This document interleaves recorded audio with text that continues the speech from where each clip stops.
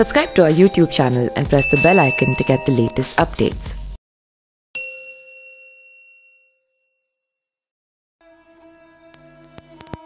महिलाओं का एक अलग ही महत्व होता है। कहते हैं, जहाँ महिलाओं का सम्मान मिलता है, वहाँ माँ लक्ष्मी वास करती हैं और उस घर में तरक्की भी होता है। शास्त्रों के अनुसार महिलाओं के कुछ कार्य ऐसे भी बताए गए हैं, जिसे करने से पूरे घर को नुकसान होता है। माना जाता है कि कोई भी कार्य करने का एक निश्चित समय होता है। महिलाओं के कुछ कार्य ऐसे होते हैं, जिन्हें दिन में किया जाता है। वहीं कुछ कार्य ऐसे भी होते हैं, जिन्हें महिलाएँ रात में करती हैं। लेकिन इनमें से कुछ कार्य ऐसे होते हैं, जिन्हें साफ़ तौर पर रात में करने से मना किया गया है तो आइए जानते हैं कि रात को कौन से छः काम हैं जिन्हें नहीं करना चाहिए, जिससे आप, इसमें आपका परिवार आता है।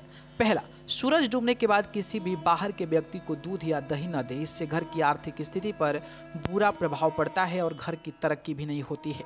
दूसरा, रात को सोने से पहले खाने के बर्तन साफ़ करके सोना चाहिए। इससे बीमारी आपके घर में प्रवेश करती है और गंदगी के कारण लक्ष्मी नहीं ठहरती है। आज के समय में घर की महिलाएँ नौकरों से बर्तन साफ़ करवाती हैं, जिसके लिए वो रात को बर्तन गंदे ही छोड़ देती है। लेकिन ऐसा नहीं करना चाहिए। इससे आपके घर में कभी लक्ष्मी नहीं आएगी। रात में महिलाओं को खुले बाल रखकर नहीं सोना चाहिए, क्योंकि माना जाता है कि रात में खुले बाल सोने पर नकारात्मक शक्तियाँ आकर्षित होती है। इसलिए रात को न केवल महिलाएँ वर वरन चोटी रखने वाले पुरुष भी अपनी चोटी को बाँध लेते हैं। रात को सोने से पहले घर के कमरे में रखे सिंधा या काला नमक और सुबह उठकर सबसे पहले बिना किसी के बताए हुए उसे इकट्ठा कर किसी नाले में फेंक दें। महिलाओं को सोने से पहले झाड़ू को सही दिशा में रखना चाहिए, यानी महिलाएँ सोने से पहले झाड़ू को दक्षिण दिशा में रख दे, इससे धन लक्ष्मी की बढ़ोतरी होती है। बेड के सिरहाने फूलकर भी नहीं रखना चाहिए। इससे आपकी घर की लक्ष्मी रुक जाएगी। महिलाएँ अगर ये काम नहीं करती हैं तो उनके घर में सुख, समृद्धि व धन की वर्षा होगी।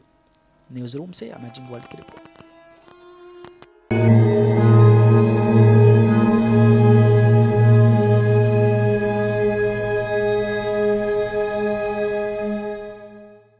Subscribe to our YouTube channel and press the bell icon to get the latest updates.